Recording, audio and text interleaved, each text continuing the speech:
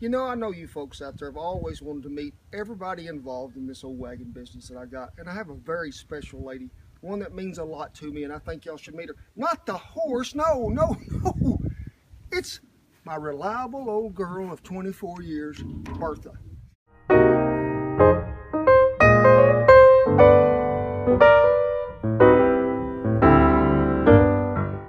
She's 385 pounds of burning love here. Has no bottom in her, as you can see. But she does have a top. The top comes out for one reason, for me. That's to make it lighter to load. But also the top of that old stove, when these plates come out, you can throw a grill on there and grill up a lot of good beef.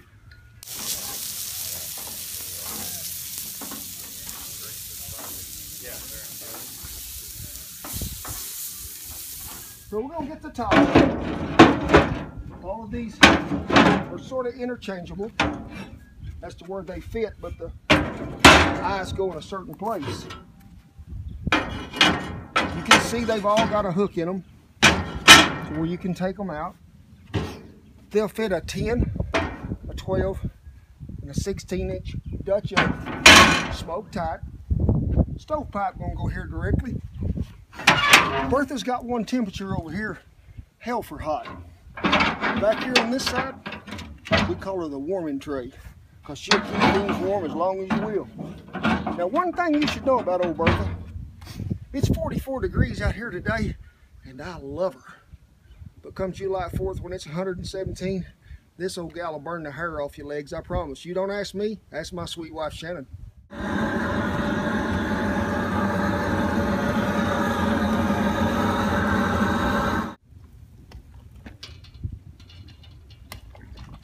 Welcome to Bertha and all her glory.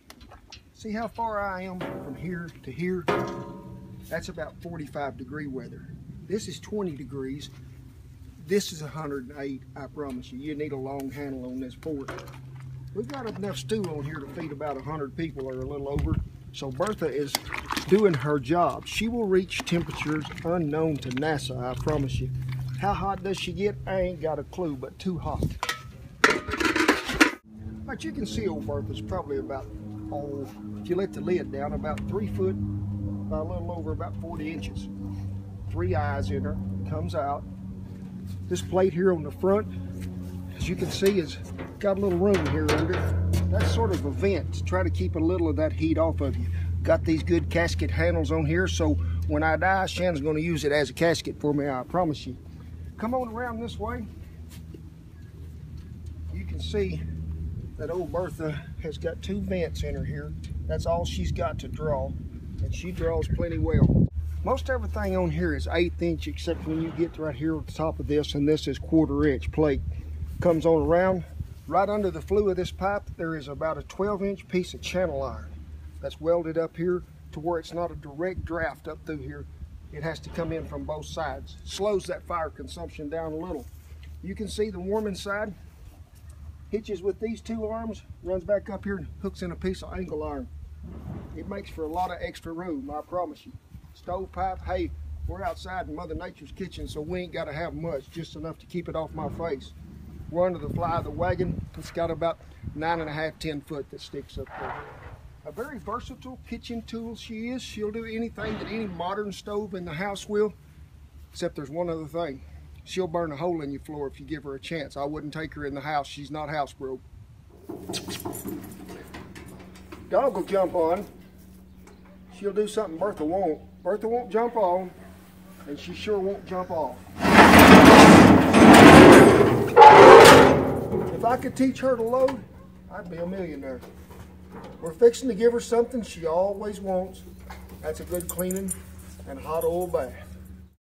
You know, Bertha, she has been with me a long time. She's been rained on, hailed on, blowed on, kicked on, cussed on. Even had a dog pee on her one time. He didn't make that mistake again. Snowed on.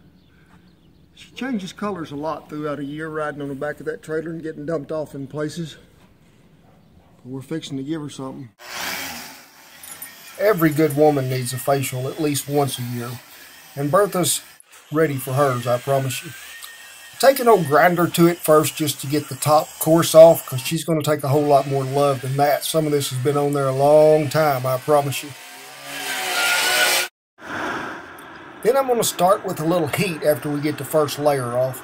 Get her a good and hot, then we'll take that grinder back to it. That stuff will come off a whole lot easier. Make it a whole lot easier to clean, but also a little easier for that oil to penetrate when we get ready to season her back. You can see the difference here. You get her hot, do a little elbow grease with some good used cooking oil. She looks a whole lot better than she did. I promise you she'll appreciate it. You know, there's sometimes on ranches that uh, we don't get to take old Bertha in because she's a little harder to transport when you're having to move camp every other day or once a week or something like that. So we've got a little old collapsible stove that's a mini Bertha that we take that is just four pieces that pin together. And then it's just got pieces that run across, bars that make a grate, and it's got a wire grate that goes on one end of that. To me, it's still a whole lot better than bending over a hole in the ground with everything trying to blow in the gravy and the eggs that I'm cooking. But it does a job, and it does a good job. I thank old Randall for letting us use it. Well, as you can see, Bertha do look somewhat better. It's called a Bertha makeover. She got her makeup on now. She fitting to go back on the trailer. She ain't like no dog, or she ain't like Shan. She won't load when I tell her to get in, but she weigh 385 pounds with the top out, ain't got no bottom in it. How do you load it? Armstrong. When I can't load it, I'll do something else. I'll take up knitting.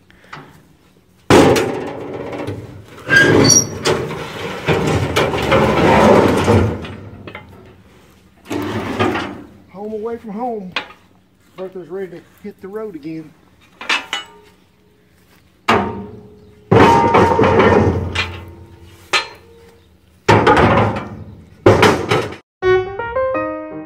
I'll guarantee you old Bertha's worth her weight in gold. She has saved me many a heartache, I promise. Also, she ain't caught near as much country on fire as an old open pit would when the wind's blowing about 40 miles an hour. She's a welcome place for cowboys that come in on a cold day, a place to warm, not only just to cook, but to warm your heart. She holds many a coffee pot and has warmed many a feller's belly. She's washed many a dish. She's more than just a hunk of iron. She's part of me and Shannon's life. You know, I'm really blessed to have two women in my life that I love. The first one being Shannon, the other one being old Bertha.